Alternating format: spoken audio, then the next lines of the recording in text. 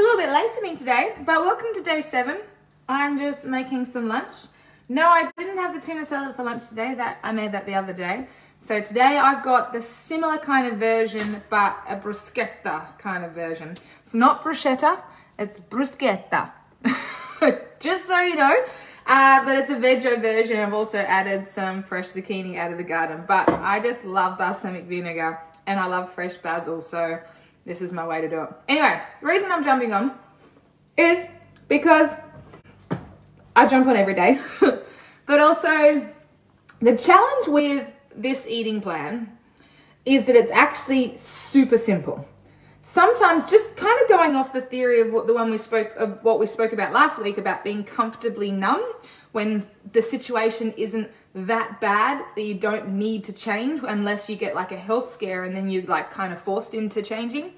Well, when it comes to the food side of things, because it's so simple, sometimes then we get comfortable in that and we think that it should be a lot harder, therefore we kind of throw in the towel and don't do it. We don't do what we know we should because it's it's not that hard. It's actually really simple. It's not, we're not, we don't have our eating like so wrong that we need to change everything. It's like, no, what you're currently eating is totally fine. We just need to make the numbers work, right? So, if you're not sticking to your numbers, if you're not trying, then there's a bigger reason than what there's a bigger reason than just not doing it because it's really simple. It really is. So, maybe then you need to go back and revisit your why. Why do you act, why did you even enter an eight week challenge? You clearly entered it because you wanted a different result to what you're currently getting and consistency rewards. So if you're not willing to do something different, then you got to tap into somewhere else to force yourself to get out of that comfortably numb situation to then make yourself have to want to do things differently. Because if you can, if you continuously do the same thing and expect a different result, that's actually the definition of insanity. So it is a challenge when oh, there's a freaking fly. it is a challenge when things are simple and it's not uh, super hard to eat this way. It's actually quite a lot of food. You know, it's pretty good. It's pretty close to what you're already eating. Uh, we're not telling you to do shakes and you know exercise for nine hours a day and all that kind of thing. So if you're not doing what you know you need to do, then you need to go a little bit deeper and look into the psychology of it because the action is not that hard. it's just sometimes we act like children and we just don't want to do what we know that we should be doing because we have to be adults because we are adults.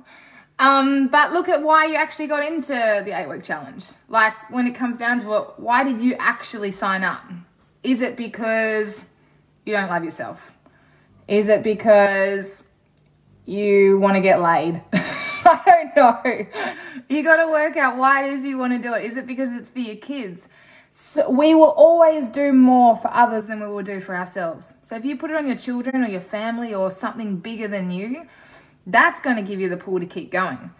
Because it's not that hard, it's not that easy. We're kind of in the middle with this challenge. It's like, it's not the comfort of doing what you've been doing, but you don't want the same result, right? So you do have to change something.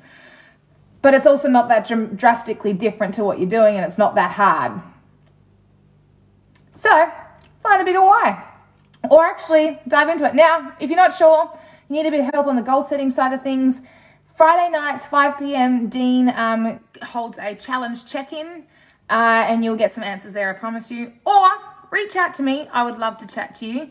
But I want you to think about it first is, you know, what why did you do this to start with where are you where do you need help guidance what's going to get you there who can you do it for rather than doing it for yourself hmm. see how we go all right hopefully that has uh, provided you with some something to think about some insight.